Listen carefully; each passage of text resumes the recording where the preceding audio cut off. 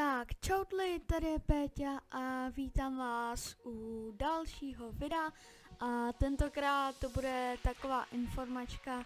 Já moc ani nesnáším ty informačky, ale tady to je trošičku uh, taková zvláštní věc, která se stala.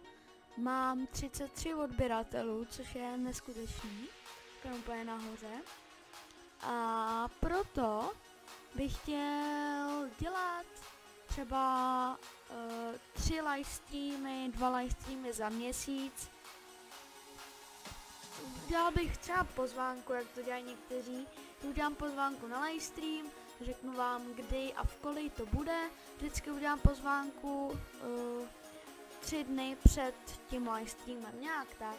Uh, nějak uh, se ještě se trošku vyřeším. Ještě to není jistý, že by byly live streamy ale abyste se potom nedivili, že já když uh, napíšu pozvánku uh, live streamu, tak uh, třeba vám jenom teďka říkám, abyste tam přišli uh, a abyste si třeba zahráli, budeme hrát třeba CS, uvidíme, ale nejvíc bych chtěl hrát Minecraft, protože Minecraft je Minecraft.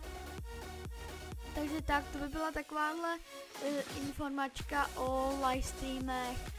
Bylo to takové krátké, já vím, ale chtěl jsem vám říct tu věc ještě jednou, že budou live streamy prostě a uh, bude to taky za uh, překonanou hranici 30 uh, odběratelů, odběratelů. Ne, že bych to takhle chtěl dělat uh, každých 10 čísel víš a víš, ale třeba by mohl být, uh, je,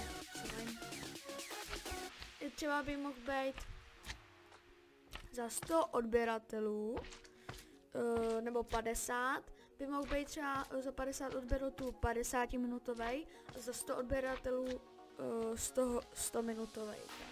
Takže říct 100 hodinový. Takže tak, to bylo takovýhle informace. Uh, budou teda ty live streamy a já už to nebudu dál obkecávat, protože se zase do toho zamotám. Takže se mějte krásně a budu se těšit u nějakého live streamu. Takže se mějte krásně a ahoj.